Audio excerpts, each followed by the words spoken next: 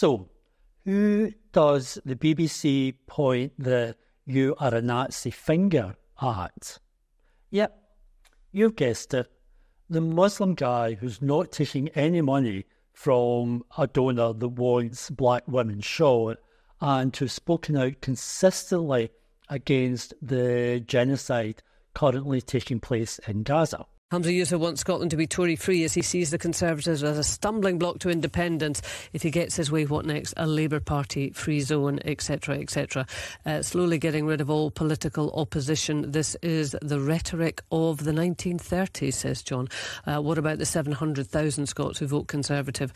Are their political viewpoints to be marginalised from Scottish society and ultimately banned from expressing their opinion? Is this Humza's final solution uh, for dealing with the Uh, problem?